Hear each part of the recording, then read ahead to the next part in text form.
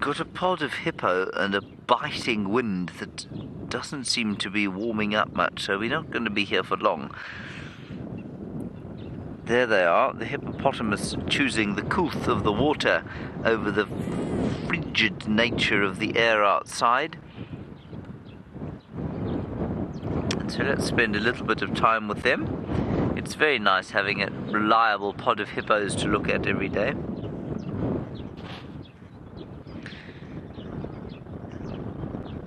No, it is not normal at all, Paul. You say, what is the temperature? I keep saying it's cold. Uh, It's supposed to be about 63 degrees Fahrenheit, 17 degrees Celsius, but with this wind, it's probably pushing closer to sort of 14 or 12, I guess, Celsius, which is, um, well, I guess round about 65 odd which is pretty chilly out here. And it's not usual, Paul. You say it was 90 degrees the other day. Well, it was upward of 90 degrees the other day. And you say, is it normal for it to get this cold? Absolutely not.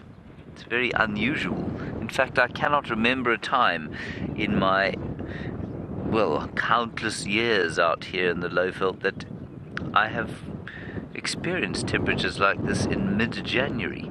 It really is bizarre.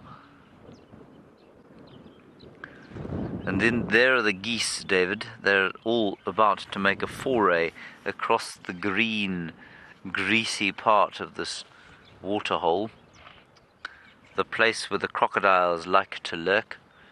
I suspect the crocs are probably out the water. I haven't even looked about for them.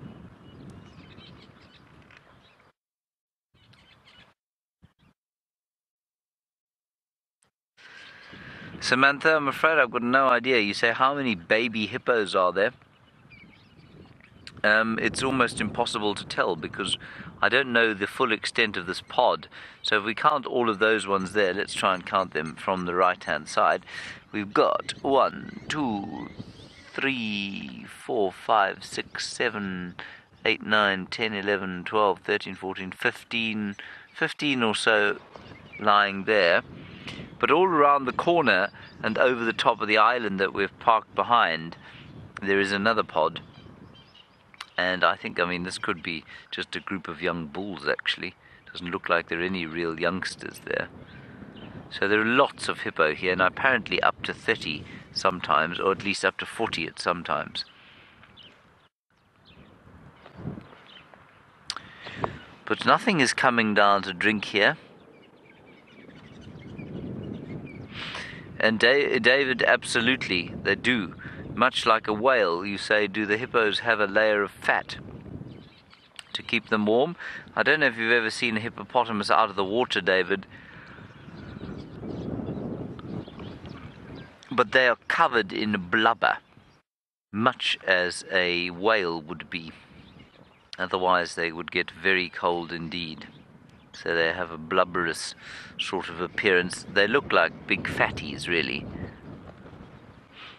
They're obviously very fast, though, and they have to put on that kind of fat for precisely days like this to try and stay warm.